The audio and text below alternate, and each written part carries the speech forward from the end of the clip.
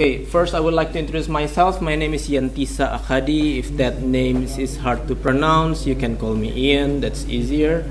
I'm from the I'm from HOT. That uh, stands for Humanitarian OpenStreetMap Team. It's a non-profit organization based in DC.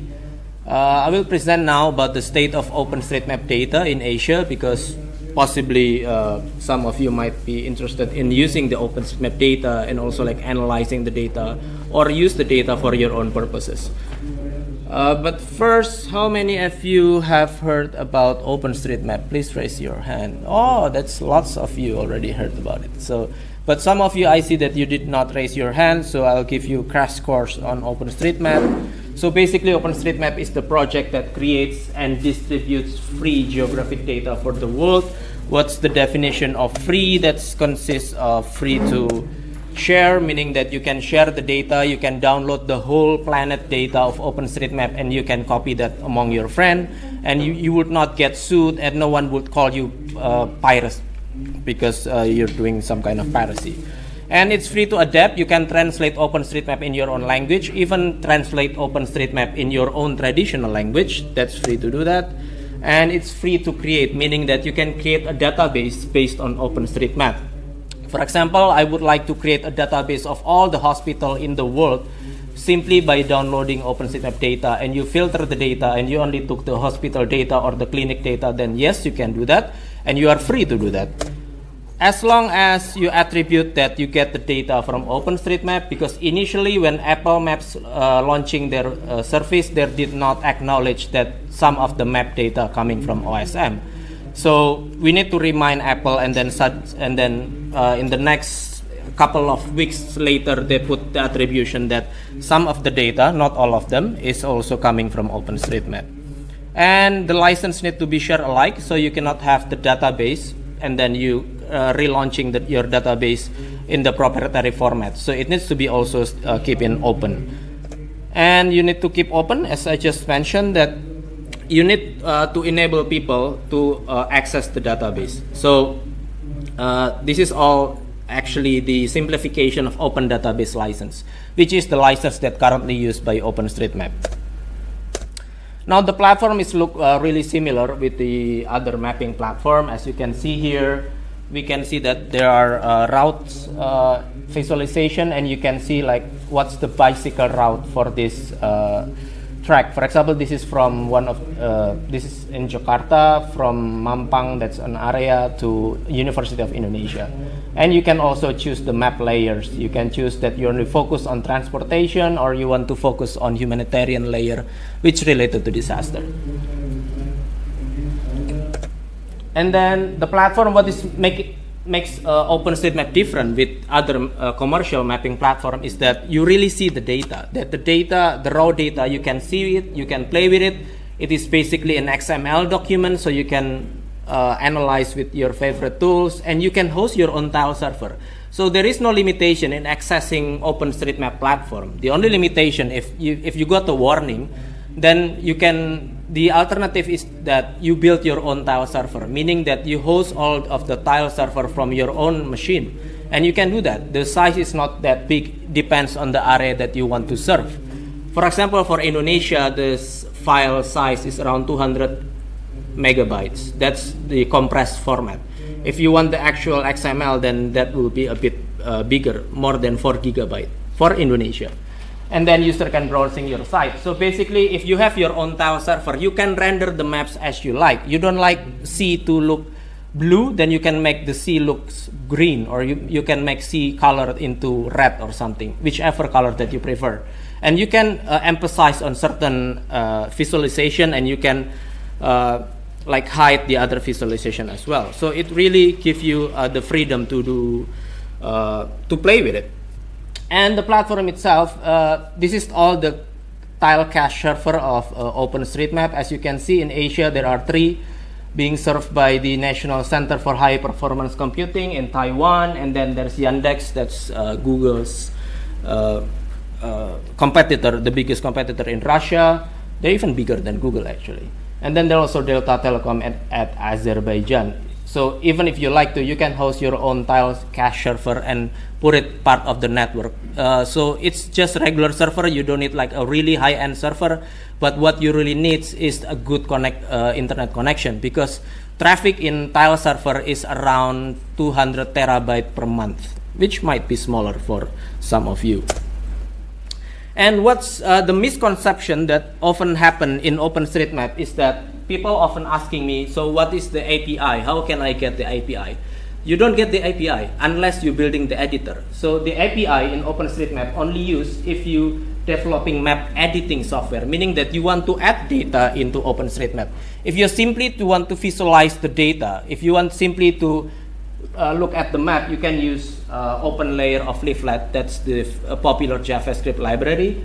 So basically, like this is all the architecture. This is this is uh, open platform. This is open data. You can look at the platform. You can fork the platform and build your own OpenStreetMap server. That's really straightforward and quite easy to do that. My experience, if you want to build tiles uh, tile server for the OpenStreetMap, it just took less than three to four hours and then you have the, your own tile server. So this is basically the architecture. Uh, if you want to know more about this, I'll give you the link by the end of the presentation. You can also get the link for this slide later uh, in the end of the presentation. So how about the OpenStreetMap data? So uh, it didn't look really clear. So basically like the whole planet data is only 56 gigabytes. I just update these slides like this week and this is really updated. So by you downloading this 56 gigabyte, you get the whole planet XML data. This is the URL if you are interested to download the data and you want to analyze it. And then every week the data gets updated. Like this weekly change set, uh, the size is 1.7, so meaning that next week probably it will be growing into that size. This one is the compressed version, the PBF format. PBF is really common at OpenStreetMap. PBF is proto buffer format. Not that you need to know that, but it, uh, it really can compress the data. And this is the overview of the OpenStreetMap data for Asia. Like you can download country level data and you can also download city level data. So if you're only interested to Singapore, then you can simply download Singapore. You, you're not necessarily need to download the whole 56 gigabyte. So uh, you can, uh, I already test this and you can check like Singapore and then you can, you can download only the Singapore data in PBF, in shapefile or other format that might suit to your need. And then the next question is how's the structure of the data? Basically, there are only three types of OSM data. The first time, the first one is node, so it's basically point so like point of cafe, point of a restaurant, point of hospital. So we call that as a node. So every atom of a node or like every node data looks like this. They, they have an ID, they have the lat and longitude, that's quite common. They have the version, meaning that if people make mistakes in OpenStreetMap, they can refer to the previous version. And that's what we did as well. If there's people doing map vandalism, meaning that they're just deleting data in OpenStreetMap, we simply revert that uh, data into the previous version and it will uh, come back up. And then the change set, and then who's the user doing the editing, and what's the user ID, and this timestamp, timestamp when uh, the data is being added to the database. The second type of the data is ways. So ways is actually series of nodes. So there are several ND is actually node. So there are uh, points collection of points that so from this collection of points it form a line. So that's basically ways. And ways can be divided into open way, closed way, and area. So area is like an area for basketball field or uh, football field, for example. But basically, it also have all the information and like there is all, there is always a pair of key and value like also this one is highway and the type of the highway is residential meaning that is in the residential area.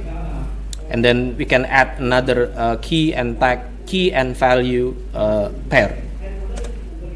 The third one is a relation. Relation is basically like we use this for boundary for admin admin boundary for uh, to be specific.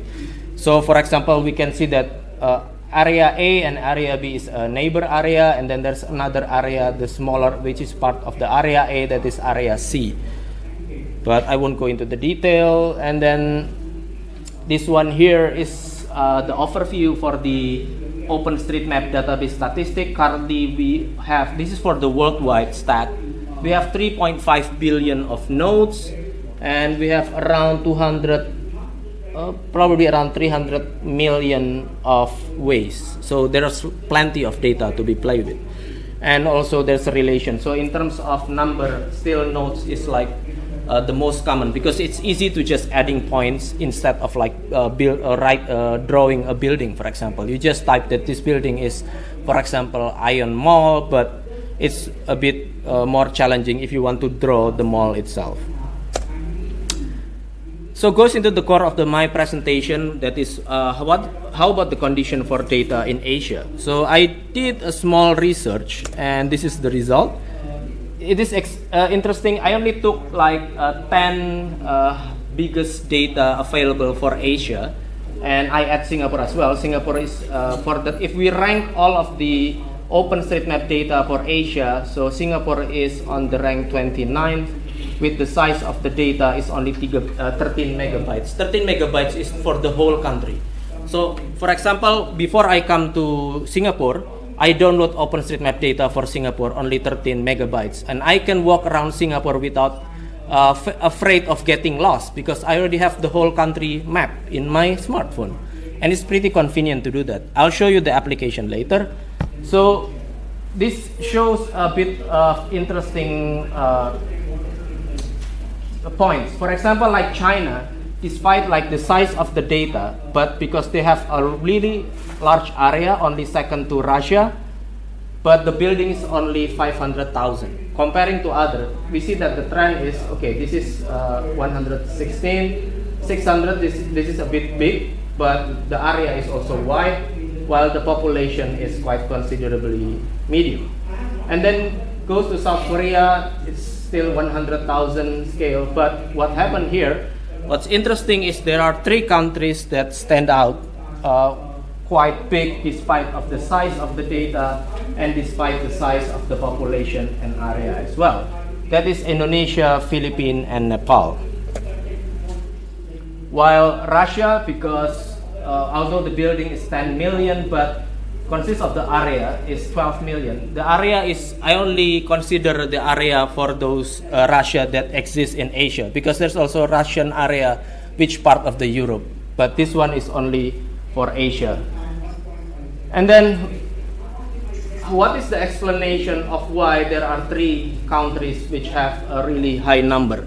The short question is because these three countries having disaster and at the same time HOT doing lots of project for disaster management in that area. In terms of we map an area to help that area for uh, emergency response because during emergency a good map is really useful. If you want to help people, then you need to have a good map so that you know how to distribute your logistic, you know how to reach an area and give assistance to that area. Now, specific for Indonesia, because I come from Indonesia, and I really understand uh, where this number come from, uh, the 5 million, the 5.6 million, is because in 2011 uh, we have a project funded by the Australian government in partnership with the Indonesian government that is to develop uh, a software called INASAFE. So INASAFE basically a software which receive input in terms of hazard, for example floods. If you watch uh, Peta Bencana presentation previously, so basically, it looks like, for example, floods in Jakarta. If there's happened flood in Jakarta, how many building, how many roads, and how many population will be affected by that particular uh, disaster? And then INASAFE will give you the result of uh, how many building or how many kilometers of road, how many people will be impacted in, in and result. The result is in form of maps, uh, reports, or uh, action points. So because the challenges when developing this software is we don't have a good data. It's easy to get the hazard data from National Disaster Management Agency, but how you can get like road data and building data in a short amount of time. Population data is easy because every time there's uh, there's a citizen deliver birth or uh, death, then they need to report that to the to get the birth certificate or to get the death certificate. So it's quite easy to track the population in a certain area, but it's hard to get the building and roads data because they're quite dynamic. So in terms to achieve that, in 2011 up until this year, or this this is still ongoing project, we recruit a trainer and we have delivered uh, 128 training in 17 provinces. There are 34 provinces in Indonesia, so about half of it uh, we already covered. And we already trained more than 3,000 participants all over Indonesia. And we also did, uh, this is also the story on how we built the community. So we need to translate like all the learning material, we need to adapt to the local context, even in one of our project with partnership with Wikimedia Indonesia, is we, is we also develop a specific guideline and we're using the local icon uh, so that people would, can relate and they can easily learn uh, the material. And we also develop QGIS and INASAFE for disaster management. All of our training materials, the license is public domain, meaning that you can download, you can adapt, you can sell the training material. That's up to you. And we also uh, record and publish. Uh, we create tons of uh, YouTube videos so that people can easily learn OpenStreetMap. Now it's still in Indonesian, but we will provide the subtitle in English as well so that more people can learn about it. And we also developed several tools. This is the INASAFE tool that I just mentioned earlier so that using INASAFE you can see the breakdown of the building affected by floods. So if same, same floods in 2007 happen now in Jakarta, the impact might be like, for example, there will be like four apartment inundated, 100 building inundated, and then how many clinics, how many college, how many uh, hospital will be affected. And it's also important to build the community, com community through social media. There are several social media that we maintain to give uh, how-tos and guides, the Q&A, outreach, and also for the tutorial.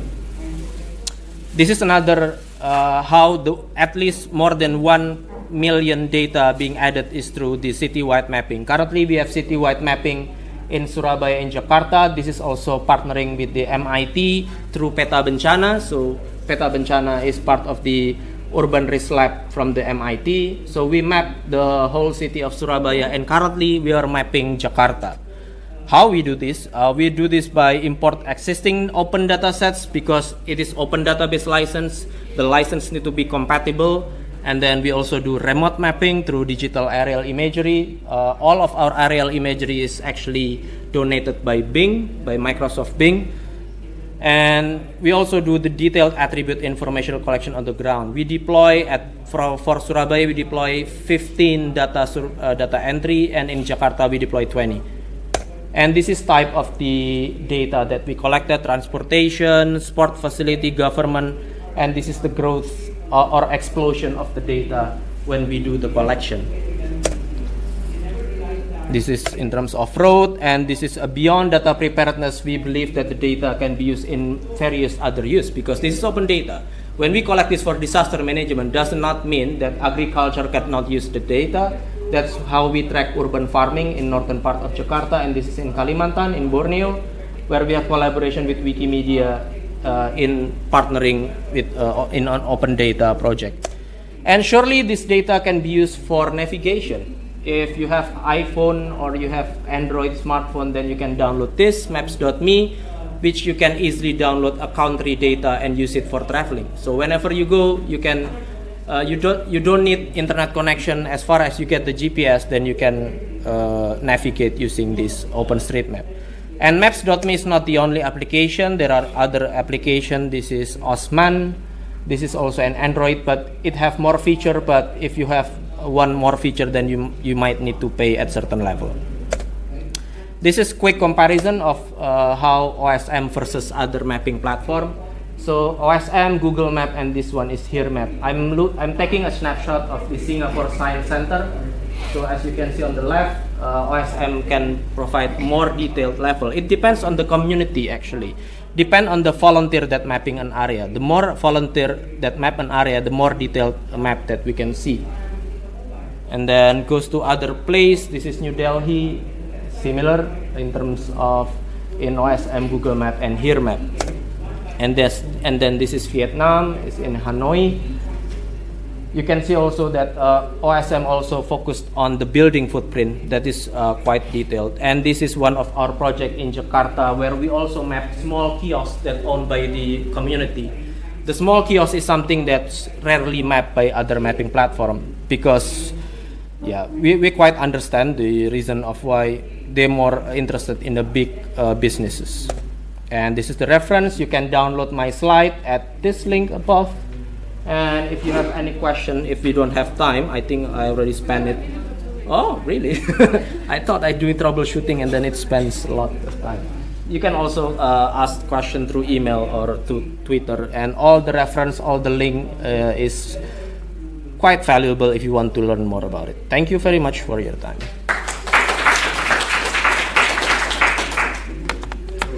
Yes.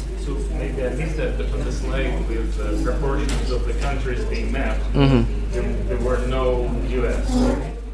Uh, yeah, because this one is focused on Asia, but actually there is also quite large data from US. Yeah.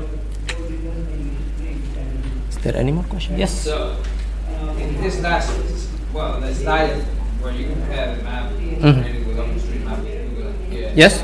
Uh, well, they can steal the data from one still, take it from OpenStreetMap, technically, but they're not doing it apparently, right? Because it's not displayed there. Possibly, yeah. So like, uh, there's there's a cases where two things happen. Like there's there's a case where OpenStreetMap editor or person, OpenStreetMap user took data from Google Map, which is not allowed.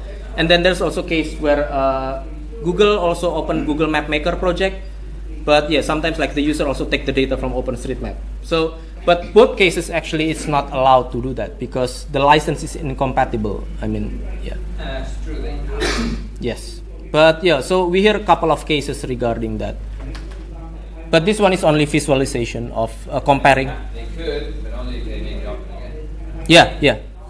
Although, yeah, uh, we still, uh, I mean, the way of the data collected is also different. Like in OpenStreetMap data collected by volunteer, while Google Map Yeah, might I know. saw us uh, by the then it data. would be really easy to just, you know, fill the gaps in the maps using your data. And, Yeah, that's an ideal world if everyone works together and share the.